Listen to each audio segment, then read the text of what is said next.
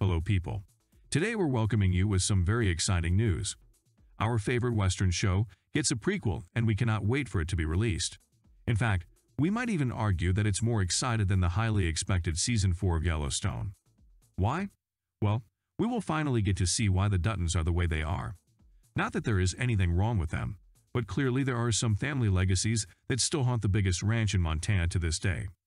Thus, we believe that it's crucial to have a glimpse into the background of this mysterious family and see how the ranch was formed in the first place. Thankfully, the showrunners were on the same page with us as well and decided to produce the already famous prequel, 1883. The teaser of the series got released during the Super Bowl of 2021, and it caused a major craze among the fans. Since Yellowstone is currently the number one hit on cable TV, it's not a surprise to see that the spin-off of the series is also a hit even before its release. The prequel series is expected to premiere on December 19, 2021. However, unlike Yellowstone, it will not be aired on Paramount Network and Peacock. Instead, it will be available on Paramount+. Plus. The series will focus on the origins of the Duttons as some of the earliest members, who are suffering from poverty, come to Montana in 1883 for a better future. It sounds more than promising, isn't it? Well, the creator of the show Taylor Sheridan thinks so. I was always fascinated when I came up with the story of Yellowstone about how do we make it bigger and expand it.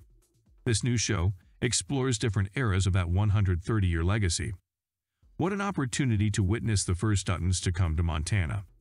We see them when they were homesteading. When we say the Wild West, what that really means is a West beyond the reach of the rule of law.